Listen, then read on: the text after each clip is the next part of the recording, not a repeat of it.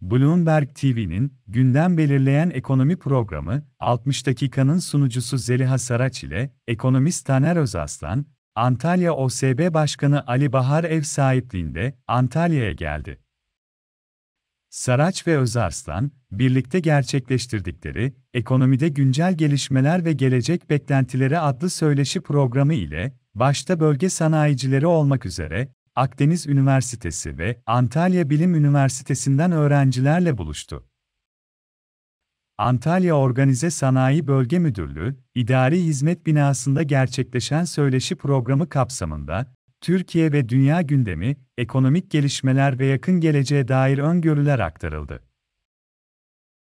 Yaklaşık 3 saat süren program, katılımcılar tarafından dikkatle izlenirken, üniversite öğrencileri sordukları sorular ile programın daha geniş bir perspektife odaklanmasını sağladı.